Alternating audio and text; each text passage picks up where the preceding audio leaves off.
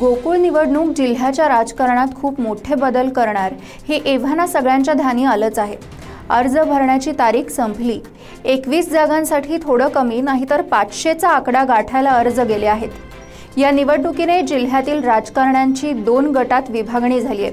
तिसऱ्या पॅनलची देखील घोषणा झाली आहे. पण एकवीस जागा आणि एवढे सगळे अर्ज मग माघार कोण घेणार आणि का घेणार असा प्रश्न नक्कीच निर्माण झाला आहे. दुसऱ्या फळीतील नेत्यांना आता मनवत बसावं लागणार आहे.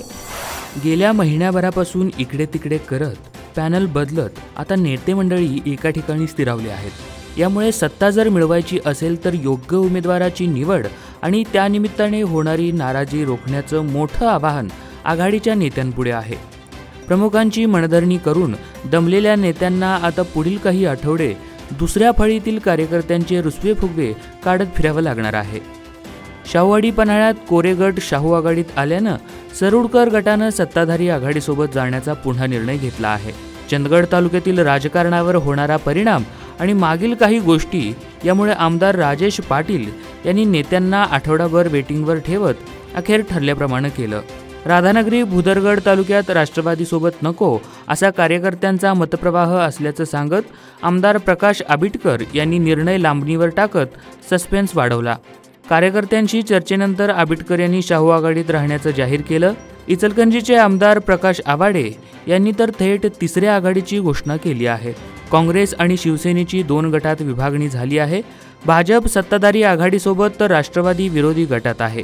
त्यामुळे आता गोकुळच्या राजकारणात इकडे तिकडे कोणी राहिलेलं नाही आहे विरोधी शाहू आघाडीत तर डझनानं नेते आहेत. प्रत्येकाला किमान एक दोन जागा हव्याच आहेत. तर सत्ताधारी आघाडीने सुरुवातीला असलेल्या दहा रिकाम्या जागांवरच चर्चा घडवून आणली आहे. नेतेमंडळींच्या वारसदारांचा वाढता आलेख पाहता यावरून ग्रामीण भागात नाराजी आहे. नव्या जागा भरताना सत्ताधारी आघाडीला ठरावांचं गणित मांडावं लागणार आहे. विरोधकांकडे इच्छुकांची मांदियाळी असल्याने पॅनलची बांधणी करताना कसरत होणार आहे. त्यामुळे पुढचे दोन तीन आठवडे बरीच समीकरणं फिरताना दिसणार आहेत. सर्दी खोकल्यापासून कॅन्सरसह आजार असो कोणताही. लहान मुलांपासून वृद्धांपर्यंत विना शस्त्रक्रिया होमिओपॅथिक पद्धतीनं उपचार करणारं विश्वासार्ह आणि रुग्णांच्या मनातलं रुग्णालय? Matoshri homeopathic hospital. नामांकित पुरस्कारांनी सन्मानित डॉक्टर दत्तात्रय चोपडे पाटील आणि डॉक्टर सौ पूजा दत्तात्रय चोपडे पाटील यांच्याकडून आपुलकीचं मार्गदर्शन आणि योग्य उपचार. साईड इफेक्ट शिवाय रुग्णांना बरं करणारं Matoshri hospital Kolhapur. Website Matoshri homeopathy dot com.